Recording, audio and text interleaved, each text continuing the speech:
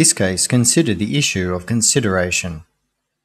In this case, two people who had a patent for an invention wrote a letter to a third person stating that they were giving him a one third share in the patent in consideration for services that he had already performed for them in commercializing the patents into the market. The two inventors later sought return of the letters patent from the third person, but he resisted this and insisted that he was entitled to his third share.